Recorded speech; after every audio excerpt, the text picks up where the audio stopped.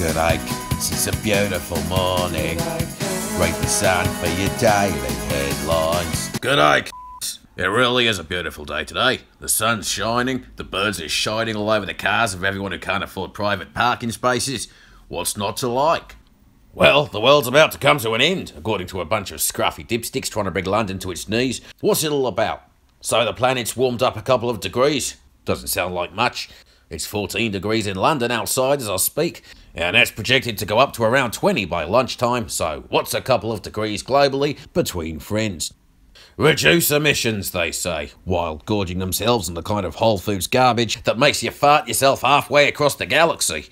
You might have seen me good pal Adam Boulton making a stone cold of that eco loon on Sky News yesterday. You're just a, you know, you're a load of incompetent, middle class, self indulgent people who want to tell us how to live our lives. That's what you are, isn't it?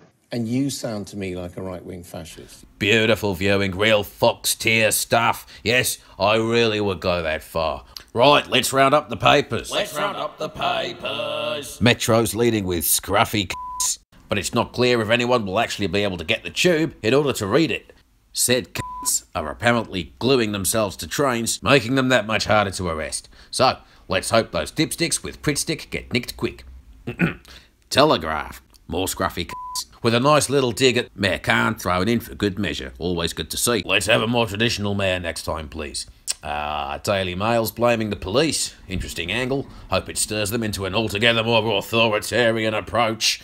Uh, Independent's also going with a story about pigs. Something about David Cameron, I think. I don't know. I can't be fucked to read it. It's the Independent, for fuck's sake. Uh, Daily Mirror, as usual, is a steaming pile of tarantula shite.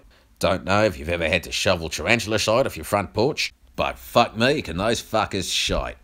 Uh, Guardian's always a corker if you're looking to stroke your chin into the shape of a scorpion's ass. Ooh, something about the concentration of wealth. Let's just set fire to that. Uh, Times, Farage party on course for EU elections win. Lovely stuff. Nice traditional party leader he is. Look forward to him bringing the whole organisation crashing to its knees from the inside. Ah, here we go. The sun. Can I get the jingle? Uh, me producers are a bit busy with something. I'll have to do the jingle myself. Read the sun, cunts. All right, our front page today is a real doozy.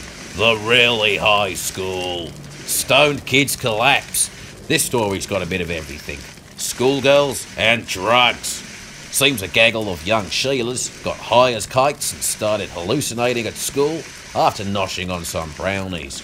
But even they weren't fuck-witted enough to glue themselves to a train. Bale, get the fuck out of here! Finally, Daily Star is going with tits.